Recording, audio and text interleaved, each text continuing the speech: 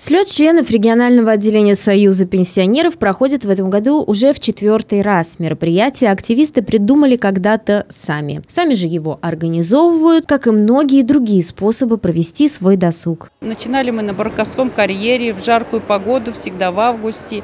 И э, настолько коллектив сплотился, и у нас много чего происходит именно по здоровому образу жизни, и скандинавская ходьба, и фитнес, и йога, и э, психологические тренинги. Мы заключили много соглашений с образовательными учреждениями, и смартфон, и английский, китайский язык, и э, азбука православия, то есть на любой вкус. И ключевое слово, когда люди записываются, то э, желаю.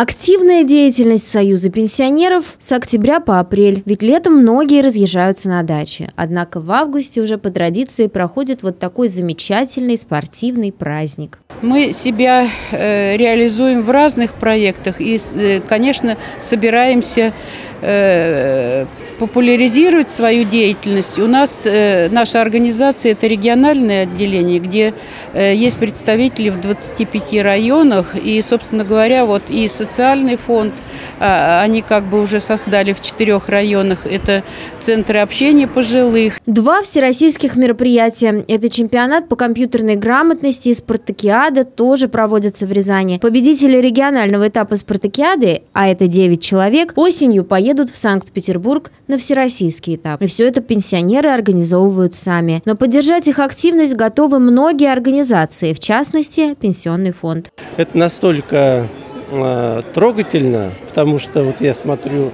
на наших э, участников, все с таким энтузиазмом, с радостью здесь встречаются, обнимаются, и это создает им и настроение, ну и, соответственно, дает возможности заниматься своим здоровьем. Потому что всегда, когда мы что-то человеку желаем, всегда говорим, будьте здоровы, здоровья вам и так далее. Поэтому хочется пожелать всем пенсионерам Рязанской области, всем участникам Союза пенсионеров э, доброго здоровья на долгие-долгие годы. Спортивные состязания сегодня сменились танцами и песнями, да и просто дружественным общением единомышленников. Тех, для кого возраст вовсе не препятствие, а время возможностей.